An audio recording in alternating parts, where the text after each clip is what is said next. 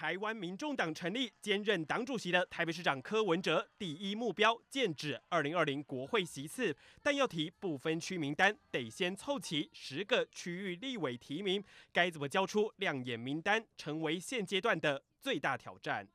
其实我们今天是相当仓促成立的啊，所有这些问题就是未来的时间啊，一直到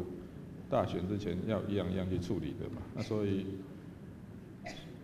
所以是这样嘛，今天只是个开始嘛。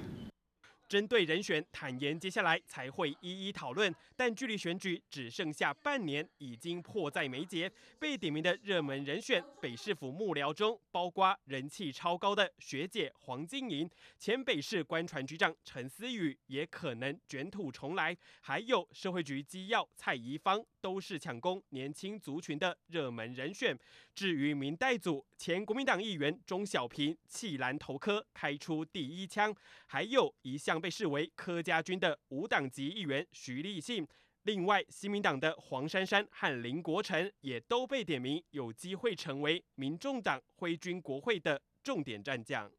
我想部分区的名单还是要体现市长在这个党的民意跟专业价值这三个部分啊，所以呃部分区的名单，我想我暂时没有考虑。我想未来的事情就未来再说。我觉得在提名的机制上，只要符合台湾民众党在人才、专业跟价值三个部分的层面，那我相信其实呃台湾民众党是一个让人才很好发挥的平台。所以提名的部分，我想就等后续党可能有更完整的一个机制，那我们再来讨论。